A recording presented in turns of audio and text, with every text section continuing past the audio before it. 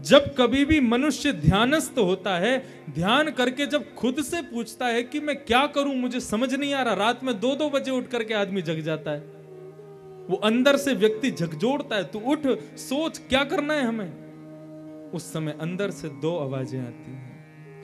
लेकिन जिस पर आपको लगे भारीपन है, समझना वही ईश्वर है और उस मार्ग पर चल के उस काम को कर देना।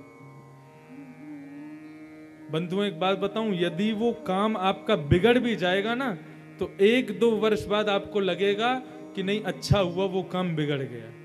क्योंकि हमारे साथ कुछ भी गलत होता है, बाद में जब वो गलत होता है, तब हमें पता नहीं चलता, लेकिन बाद में हमें लगता है, नहीं, बहुत अच्छा हुआ जो ये हुआ हमारे साथ में। कुछ भी गलत होता है, उसमें हमारी कोई ना कोई भलाई छिपी होती है। लेकिन प्रयास करो अपने आप से पूछो, ध्यानस्थ होकर के खुद से पूछो, मैं क्या करूँ?